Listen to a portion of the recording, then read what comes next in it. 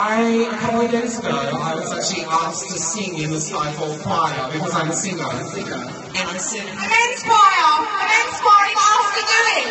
and I said no, so I could come dressed as you. So I think, yeah, fuck it. You should have come dressed as me for the men's choir. Well, no, the brief said I had to wear a suit, and I just spent seven hundred dollars on this dress. So I was, It's very nice. Very beautiful. Oh, custom made, of course. Me too, me too. Yes, same, same. same. How, have you as before? I impersonate you professionally for a job. Shut up. I just, uh, for those of you who are at the Fringe World Festival, you might have seen me impersonating Adele in the Divas show. Oh, oh, shit, I'm late. I'm sorry, I'm late. I'm beautiful. Can I sing for you? Yeah, I love it. You got your head in the clouds, you made a fool out of you, and now she's bringing you down. She made your heart there, but you come to the club. Now rumor has it, I know what I'm leaving you for.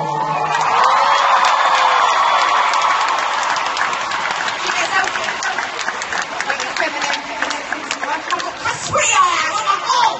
You. Sean, Sean. Well, you look better than me. That's not nice. Oh, I love this. When are you next impersonating me? Pardon? Are next impersonating me? Oh, whenever someone's got a paycheck. Okay, so well, I- I'm actually leaving on this. The next time I'm here, That's okay, I, I get around, you'll find me. maybe I'll book you something. Maybe I'll We should do a show together, why the hell not? Wait, get ready for it. Um, I perform at Connections nightclub here in Perth.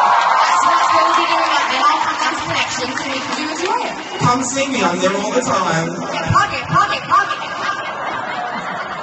Give it up Feminem!